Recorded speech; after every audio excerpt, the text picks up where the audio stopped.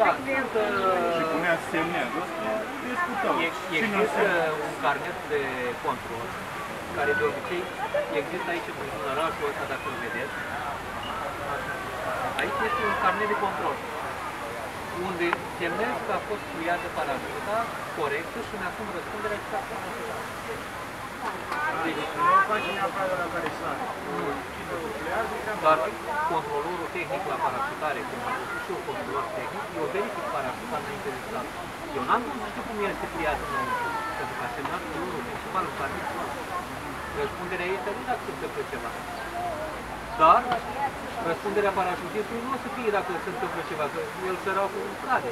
În schimb, Ofițer de informație rus zicea că el întâi o lua de la parașutist.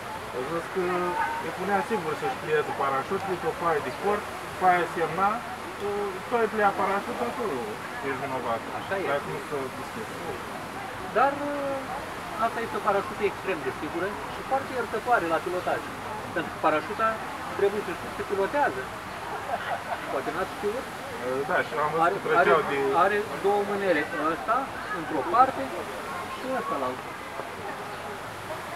Vedeți?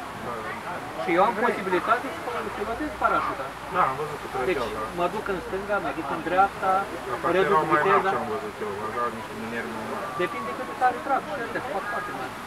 Nu, Depinde. alea erau ca la, așa, în cuvânt, de Bine, metal. sunt mai multe modele de parașute.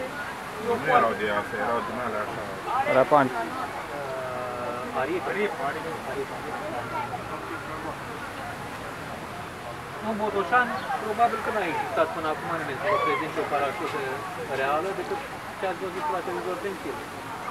Un documentar. Eu personal am fost foarte încântat când s-a oferit posibilitatea asta prin uh, Fundația Grigore Baștan și am în plan să organizez un meeting aviatic, după aia se bat pe la uși pentru un aeroport și chiar dacă sunt conștient, pot să trăiesc decât bani.